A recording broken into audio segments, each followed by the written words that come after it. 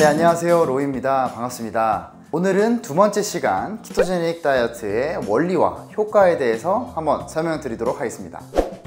자, 그럼 먼저 ketogenic 다이어트란 무엇일까요? 그 어원을 한번 살펴보자면 케톤, 즉 케톤을 genic, genesis, 즉 생성하는 그런 식단입니다. 우리 몸에서 케톤을 생성하는 그런 식사요법, 식이요법 이렇게 해석할 수 있을 것 같아요. 그래서 우리가 현재 케톤을 생성하고 있는 상태를 ketosis라고 하고요. ketogenic 다이어트를 하게 되면 우리 몸은 ketosis 또는 ketogenesis 상태, 즉 지방을 태워서 케톤을 생성하는 상태로 바뀌게 됩니다.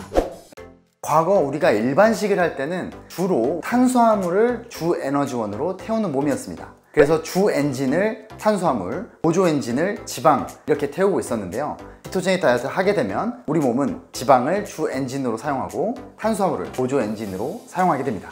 이렇게 내 몸의 주 연료가 바뀌게 되는 것은 약 며칠에서 몇 주까지 사람에 따라 조금 다른데요. 그 조건은 두 가지입니다. 먼저 우리가 섭취하는 탄수화물을 기준으로 순탄수화물 20g에서 100g 정도 수준으로 수일간 유지하거나 혹은 우리가 24시간 동안 단식을 하게 되면 ketosis 상태로 접어들 수 있습니다. 그런데 많은 분들은 걱정을 하십니다. TV 채널 들에서 뇌의 유일한 연료가 포도당이다 이렇게 이야기하는 의사분들이 되게 많이 있었거든요. 근데 이게 과연 사실일까요? 정말 키토제닉 다이어트는 우리 몸을 비정상적으로 뇌가 퇴화되도록 만들까요? 그렇지 않습니다. 아까 말씀드린 그런 케톤이라고 하는 영양소는 우리 중추신경계, 특히 뇌에서 포도당을 포함하여 주 연료로 사용될 수 있는 그런 영양소입니다. 게다가 아이가 태어나고 산모가 모유 수유를 할 때 그 모유의 지방의 약 10%가 MCT로 구성되어 있습니다. 그러니까 신생아는 태어난 지 약 12시간 만에 케토시스 상태로 접어들게 되는 거예요. 그리고 과거 수렵 채집 생활을 하던 때에는 음식의 저장이 용이하지 않았고 지방을 주 에너지원으로 사용하고 간헐적 단식도 계속해서 진행했을 겁니다. 그리고 지금까지도 이누이트족은 이러한 식단을 계속하고 있으며 동물성 지방은 그들의 긴 수렵 여정을 계속 지속할 수 있는 지구력을 준다는 점에서 키토제닉 다이어트는 실제로 유의미한 그런 식단이라고 볼 수 있습니다. 기존에 우리가 일반식을 하게 될 경우에는 탄수화물을 섭취하게 됩니다. 우리가 섭취한 탄수화물이 즉각적으로 우리 혈액에 포도당으로 바뀌게 되고 혈당이 오르게 되고요 우리 몸은 포도당을 바로바로 에너지원으로 사용하기 위해서 인슐린을 분비합니다 이게 기본적으로 우리가 탄수화물이 주 엔진으로 돌아갈 때의 모습입니다 기존에 우리가 일반식을 할 때는 우리가 탄수화물을 섭취하게 되면 그것이 분해돼서 혈당을 올리게 됩니다. 그렇게 됐을 때 우리 몸은 이 혈당을 빠르게 꺼트리기 위해서 인슐린을 분비하고 탄수화물을 주 에너지원으로 사용하게 되죠. 이것이 현재 일반식을 하고 있는 여러분들의 몸에서 일어나고 있는 현상입니다.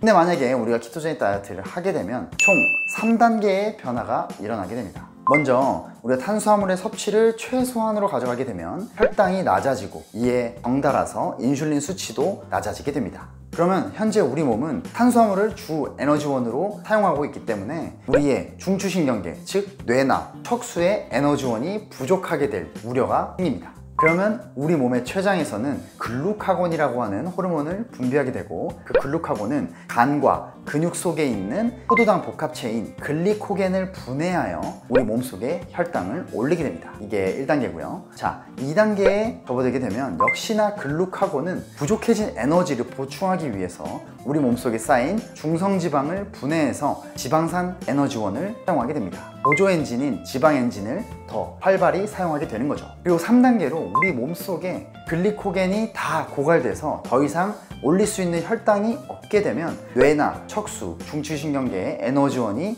아주 부족하게 됩니다. 뇌에 에너지원이 부족하다는 것은 곧 우리의 죽음을 의미합니다. 그래서 중추신경계의 에너지원을 공급하기 위해서 우리 몸의 간은 지방을 수용성 에너지원인 케톤체로 변환시켜서 우리 뇌와 중추신경계에 에너지원을 공급하게 되는 거죠.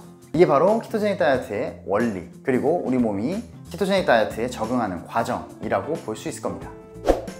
자, 우리가 키토제닉 다이어트를 잘 적응하게 되면 되게 다양한 변화를 겪게 되실 겁니다. 그리고 이러한 변화들은 대부분 우리 몸속에는 굉장히 긍정적인 변화들인데요. 그 키토제닉 다이어트의 과학적으로 검증된 효과는 다음과 같습니다. 먼저 우리가 케톤을 주 에너지원으로 사용하고 있기 때문에 지방을 태우는 몸이 되어서 살이 쭉쭉쭉쭉 빠집니다.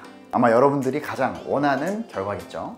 게다가 혈당의 변화가 적게 되면 인슐린의 변화도 되게 적게 되고요. 호르몬의 등락이 줄어들어서 안정적인 기분 상태를 누릴 수 있습니다. 그리고 우리 세포에게 탄수화물에 대한 휴식기를 주는 개념이기 때문에 그동안 되게 높았던 인슐린 저항성이 낮아지고 당뇨가 있으셨던 분들께서는 다양한 당화 혈색소라든지 혈당 수치라든지 이런 건강상의 지표가 좋아지는 경험을 하실 수도 있습니다.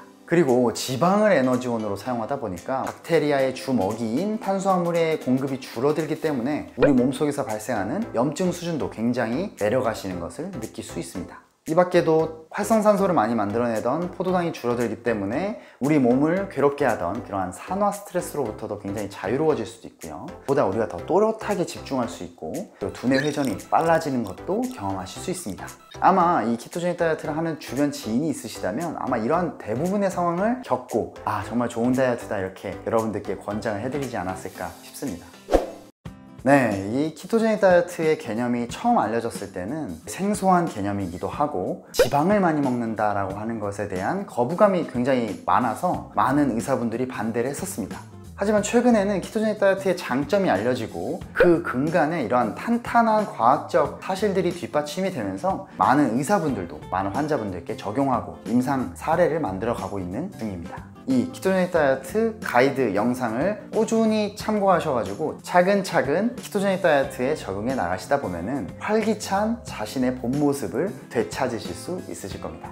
한 가지 당부드릴 말씀은 질병이 혹시 있으시다면 키토제닉 다이어트 병원 혹은 키토제닉 다이어트 식단에 대한 전문적인 지식이 있으신 의사분의 상담을 받으시기를 저는 권장드리고 싶습니다. 네, 지금까지 키토제닉 다이어트의 원리와 효과에 대해서 한번 알아봤고요. 다음 시간에 또 이어서 알아보도록 하겠습니다. 안녕!